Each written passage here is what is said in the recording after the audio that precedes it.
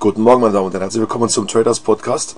Heute ist Mittwoch, 13.11.2013. Hier die Stimme ist immer noch angekratzt, aber auf dem Weg der Besserung. Schauen wir uns heute mal einen ganz spannenden Markt an, ähm, nämlich Gold. Am Wochenende war die Edelmetallmesse und wie Sie wissen, ist auf der Edelmetallmesse, das ist eigentlich so eine Art Gesundbeter-Veranstaltung, denn äh, keiner will es wahrhaben, dass Gold in einem äh, Abwärtstrend ist, vielleicht sogar in einem Bärenmarkt ist. Und äh, versucht also den Boden herbeizureden, was natürlich im gewissen Sinne klar ist, weil ja einfach der Berufsoptimismus, der Zweckoptimismus dazugehört. Aber es ist sicherlich keine Veranstaltung, um sich ein differenziertes Bild über den Goldpreis zu machen. Ich versuche das heute mal mit einem Chart. Man sieht hier den Goldpreis etwas längerfristig, also gut ein Jahr äh, zurückblickend jetzt. Und wenn man sich das anschaut, dann äh, sieht man stabiler, gefestigter Abwärtstrend.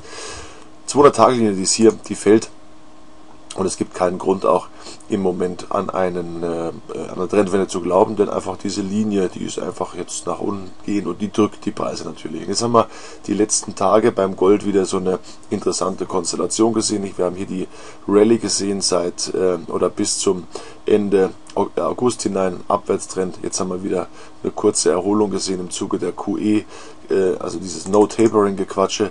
Und jetzt haben wir schon wieder diese Gewinne nahezu alle abgegeben sind hier gestern bei 12,60 gewesen und ähm, haben jetzt dieses Tief im Bereich 12, ja, roundabout 60 vor der Brust. Und man sieht auch hier diese Aufwärtstrendlinie, diese flache Aufwärtstrendlinie vom, ähm, von diesem absteigenden Dreieck, was ich hier mal eingezeichnet habe. Und da wird es jetzt entscheidend und da wird es jetzt kritisch, denn wenn man sich die äh, Indikatorkonstellation mal anschaut, der hier, mein Oszillator und hier mein zweiter Oszillator, die sind sicherlich negativ, äh, nicht negativ, Entschuldigung, die sind überverkauft. Aber was jetzt noch viel wichtiger ist, mein Trend Dynamikmesser, der ADX, der ist auf dem Weg nach oben. Und das bedeutet, dass in diesem hm, Trend eine gewisse, ja, äh, einfach Dynamik steckt, eine gewisse ähm, äh, Persistenz steckt, und das spricht schon dafür, dass der Markt hier runterrutscht, unter diese 12,60. Äh, wenn man auch hier meinen Trendindikator sieht, man sieht hier, hat uns schön Abwärtstrend angezeigt. Wir sind jetzt auf einem Niveau, was äh, zwar zuletzt immer wieder Trendwenden mit sich gebracht hat, na hier nicht ganz, aber zumindest mal hier. Aber wenn man sich die, die letzten Male mal anschaut, hier und hier und hier, da war dieser Indikator noch tiefer. Also jetzt sind wir bei minus 23, ne? aber hier war er zum Beispiel bei minus 54 oder hier war er bei minus 40 oder auch hier war er bei minus 30. Also da ist noch ein bisschen Platz, da sind wir jetzt nicht in der Extremzone von der Trenddynamik hier. Also dass ich mir schon vorstellen kann, dass der Goldpreis unter diese 12, 60 rutscht und dann naja, dann haben wir eigentlich die 1188 wieder vor der Brust. Und wenn man sich das anschaut, dann äh, haben wir eigentlich ohne Probleme, äh, wenn man jetzt hier ein Kursziel äh, ermittelt, dann haben wir ohne Probleme äh, Kursziele von, Sie sehen selber 1185, das ist das T4, aber auch drunter 1144. Äh, naja, und Sie wissen, je näher man da kommt, nicht, hier steht sogar was mit 1000, 1079, äh, je näher man kommt, umso näher kommt auch dann die 1000. Also die Bewegung, in der wir jetzt sind, würde ich jetzt mal meinen, wenn wir hier runter gehen, unter diese 1250, dann ähm, könnte das schon passieren, dass wir ja, gegen Jahresende oder frühestens oder spätestens Anfang nächsten Jahres dann dreistellig sind im Gold. Also die Bewegung, in der wir jetzt sind, gibt es auf jeden Fall her. Wenn man sich jetzt mal die Saisonalität anschaut im, äh, im Gold, dann äh, sieht man, das war sie nicht, aber das ist, äh, dann sieht man, dass wir vom Prinzip her noch äh, in dieser aktuell in dieser Choppy-Phase hier sind. Hier das Tief haben wir ja ganz gut erwischt mit der Saisonalität hier und auch hier die letzten drei Male. Aber jetzt wir in dieser volatilen Phase hier.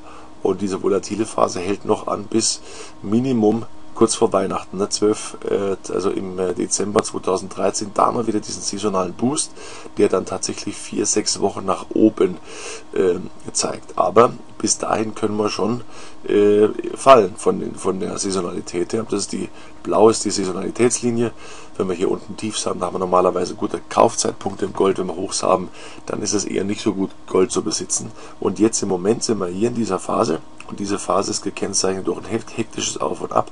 Aber die eigentliche Rallye-Phase kommt erst wieder hier im naja, Sie sehen selber, Anfang äh, oder Mitte, besser gesagt Dezember, nicht letztes Jahr, aber es war Mitte Dezember, mm, mm, da war nichts mit der Rallye-Phase, da haben wir die Rallye-Phase nicht genutzt, das Jahr davor, hier, da haben wir die Rallye-Phase dann tatsächlich genutzt. Also das wird nochmal eine spannende Sache. Auf jeden Fall, was jetzt gesehen haben, preislich äh, sind wir in einem Bereich, wo, wo es weiter nach unten gehen kann, aber auch von der Zyklik, von der Saisonalität kann es weiter nach unten gehen. Deshalb äh, meiner Meinung nach im Gold, man bleibt short, man geht short, wenn diese 12,50 fallen, aber man geht jetzt nicht contrarian-mäßig auf die Long-Seite, weil dazu die Risiken nach unten zu äh, hoch sind. Insbesondere gibt es keinerlei Anzeichen einer Trendwende.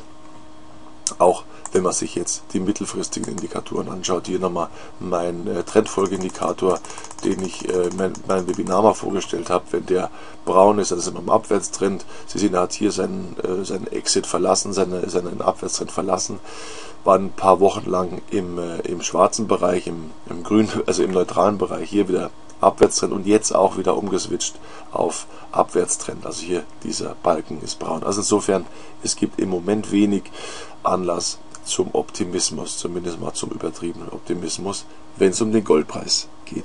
Heute Abend 18 Uhr bis 19 Uhr Webinar Profitable Chart Patterns.